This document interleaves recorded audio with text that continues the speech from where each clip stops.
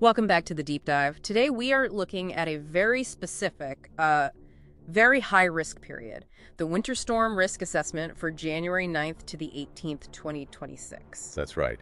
And this is really the moment that what analysts are calling the Great Eurasian Weather Divergence snaps into focus.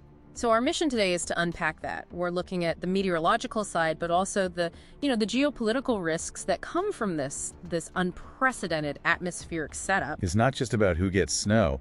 This is a structural shift, a continent-wide event. Okay, so let's get right into it. What kicked this whole thing off? Our sources are all pointing to one root cause. The catastrophic failure of the stratospheric polar vortex.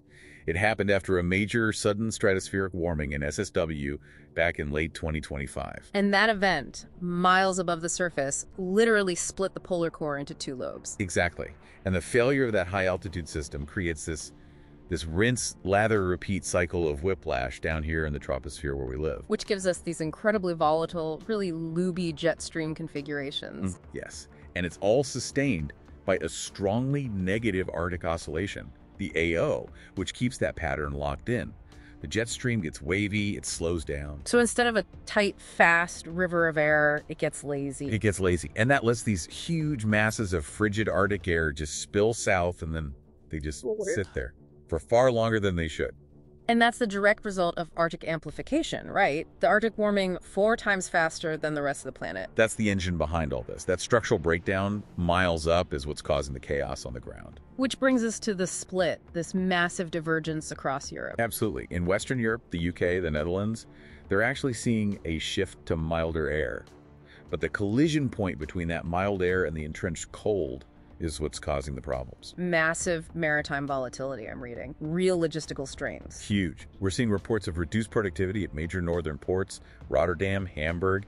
They're dealing with heavy snow, frozen track switches. It just stops rail operations cold. A huge headache. But the contrast with Central and Eastern Europe is... It's stark. It could not be sharper. That whole sector is locked in under a deep trough of low pressure. Yeah. It is much, much colder than the last couple of winters. And this is where that critical feedback mechanism comes in, the snow cover feedback. Precisely. The cold brings the snow, but then the snow itself becomes part of the problem. Right, it acts like a giant white mirror, reflecting the sun's energy back into space. And that just reinforces the frigid pattern. It digs it in deeper, making it that much harder for any milder air to break through. Okay, let's pivot east, because this is where the forecast goes from challenging to uh, genuinely extreme, Russia and the Caucasus. Here the risks become almost contradictory and, you know, existential. In Russia, we're seeing two very different and surprising risks emerge. What's the first one? Agricultural vulnerability. Hmm. In southwest Russia, this deep chill is arriving over bare ground. There's no insulating layer of snow. Which means a severe risk of winter kill for their winter wheat crops. A direct threat to the next harvest, yes. Yeah. So that's the immediate danger. What's the paradox you mentioned? Well, further east, in Siberia, the cold is just unbelievable. We're talking minus 50, maybe minus 60 degrees Celsius. Oh. And analysts are suggesting this could create what they're calling a natural Siberian disinfection. The idea is that the extreme cold might actually terminate huge populations of agricultural pests and pathogens. So a brutal winter now could mean a healthier, better yield later in 2026. What a trade-off. It is.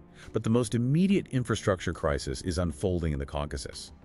Turkey's issued alerts for 63 provinces, hmm. but the situation in Abkhazia is critical. The system there is at a breaking point. It really is.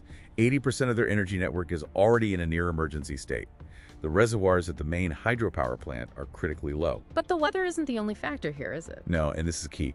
The situation is being made so much worse by the illegal proliferation of cryptocurrency mining. It's a massive parasitic drain on an already failing grid. The weather is just exposing a weak system. So when you pull back, what does this all mean? This entire 2026 winter season feels like a huge structural stress test. It is. It confirms what we've been seeing. Hmm. The Arctic is warming faster. That's making the jet stream lazy and wobbly. And the result is these massive continent splitting events. One side freezes while the other gets whiplash. So the big takeaway for risk management has to be that we can't just track simple weather fronts anymore. Exactly. We have to adapt to these deep structural, stratospheric-driven events. This is the new pattern. So we'll leave you with a final thought on that. Right, and it's an important question to consider. When infrastructure strain gets to this level, and human factors, like that unauthorized crypto mining, make it worse. Yeah. How much of the future risk is purely meteorological, and how much is really a failure of our own operational resilience? That's something to mull over as you see these stories in the news.